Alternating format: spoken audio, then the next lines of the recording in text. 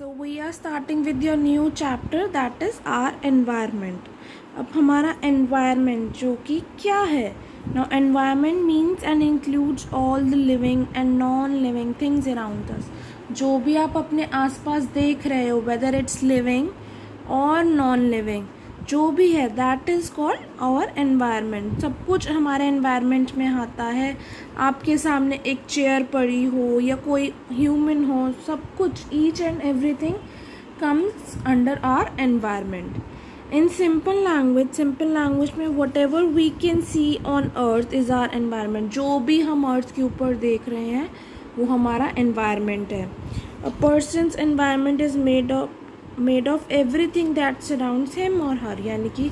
किसी भी पर्सन का जो एनवायरनमेंट है, वो हर चीज़ से बना है, जो कि उसके आसपास है। जैसे फॉर एग्जांपल आपके भी आसपास houses building people animals land temperature water light and other living and non living thing जितने भी ये सारी चीज़ें हैं जो आपके आसपास हैं, ये that includes in our environment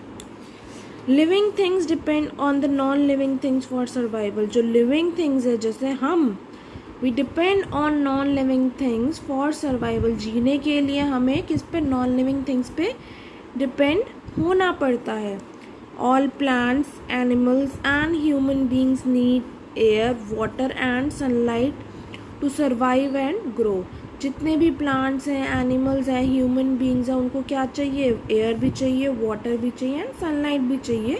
जीने के लिए और ग्रो करने के लिए।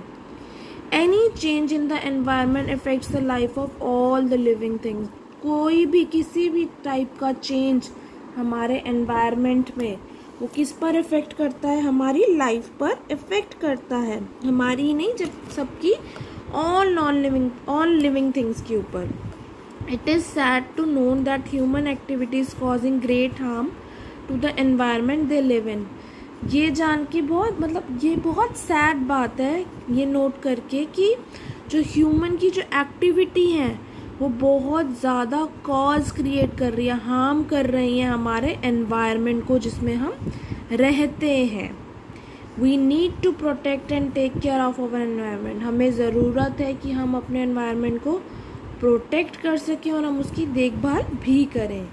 Let us see what we can do to make the environment cleaner and a better place for all the living thing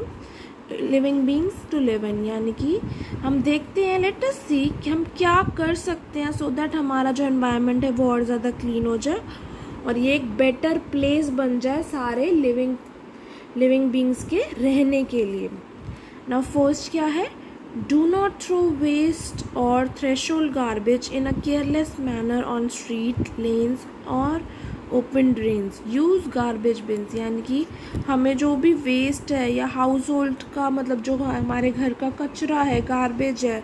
उसको स्ट्रीट स्ट्रीट्स पर या लेन्स में नहीं फेंकना चाहिए ओपन ड्रेन्स में नालों में नहीं फेंकना चाहिए। हमें गार्बेज बिन्स यानी कि डस्ट बिन्स यूज़ करने चाहिए।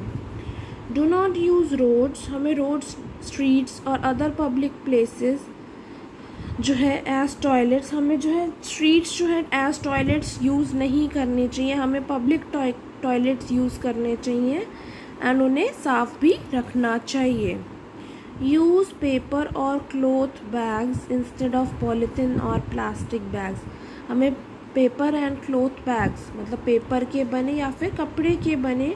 बैग्स यूज़ करने चाहिए इंस्टेड ऑफ़ प्लास्टिक या फिर polythene bags do not allow water to stand in drains puddle और in coolers as they become breeding places for mosquitoes हमें जो है वाटर को एक जगह पे इकट्ठे नहीं होना चाहिए देना चाहिए और चाहे वो कूलर हो या फिर कोई भी जगह हो ऐसी जहाँ पर मॉस्किटोज आ सकते हैं।